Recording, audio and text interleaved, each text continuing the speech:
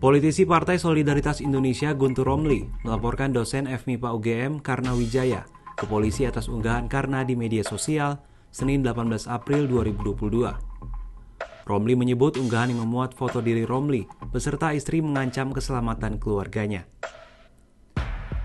Romli melaporkan Karna ke Polda Metro Jaya atas dugaan pengancaman dan pengasutan. Romli mengungkapkan akun media sosial Karna memuat foto keluarganya serta sejumlah pegiat media sosial seperti Eko Kuntadi, Denny Siregar, hingga Ade Armando dengan narasi satu persatu dicicil masa yang dianggap Romli mengancam dirinya dan keluarga.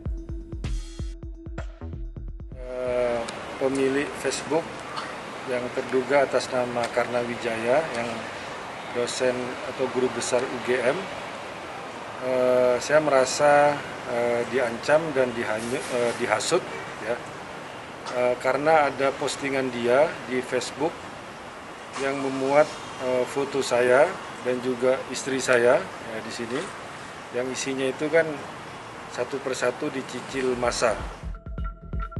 Sebelumnya karena Wijaya telah dipanggil dan diperiksa oleh Rektorat di kantor pusat UGM pada Senin 18 April. Karena mengaku salah karena telah membuat gaduh lewat unggahannya di media sosial yang mengomentari pengeroyokan Ade Armando. Karena berdalih unggahannya tersebut hanya candaan.